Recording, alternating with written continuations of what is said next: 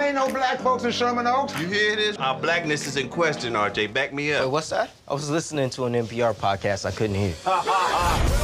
How was your first day back? Boring. Boring. Yeah. Yeah. No. Uh huh. No more ribs. Baby, ribs is all I got left in this world. Put the ribs down, Roger.